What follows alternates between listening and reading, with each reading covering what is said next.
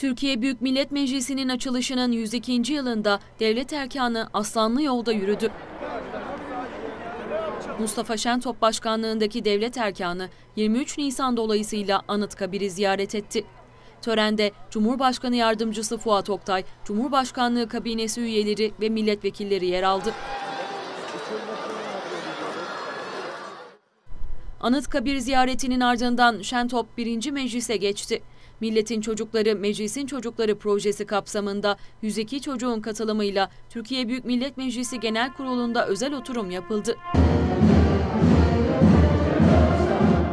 Türkiye Büyük Millet Meclisi Başkanı Mustafa Şentop başkanlığında açılan oturumda Şentop koltuğunu Mama Katlıoğlu Ortaokulu 6. sınıf öğrencisi Havva Dilay Gülez'e devretti. Şentop, milli mücadelenin önemine vurgu yaptı. Zaferden başka hiçbir neticeyi kale almadan milli mücadeleyi başlatan bir yangın yerine döndürülmüş vatan topraklarında bu mübarek meclisi kurma iradesini kararlılıkla göstermiş, gazi sıfatını hak etmiş bir meclis mensuplarının torunları olarak hepsinin aziz hatırasını tazimle yad ediyorum. Hem talep ve davası kutsal olan bu mecliste görev yapan başta Gazi Mustafa Kemal Atatürk ve mücadele arkadaşlarına, istiklal uğruna fedayı can eyleyen aziz şehitlerimize Cenab-ı Hak'tan rahmet diliyorum. İçişleri Bakanı Süleyman Soylu da Türkiye Büyük Millet Meclisi'nin açılışının 102. yılında yayınladığı mesajda Kurtuluş Savaşı ruhuna dikkat çekti. Tekalifi milliye emirleriyle ordu için çorap, bıçak, at arabası gibi ihtiyaçları temin ederek Kurtuluş Savaşı'nı kazanan Gazi Meclis,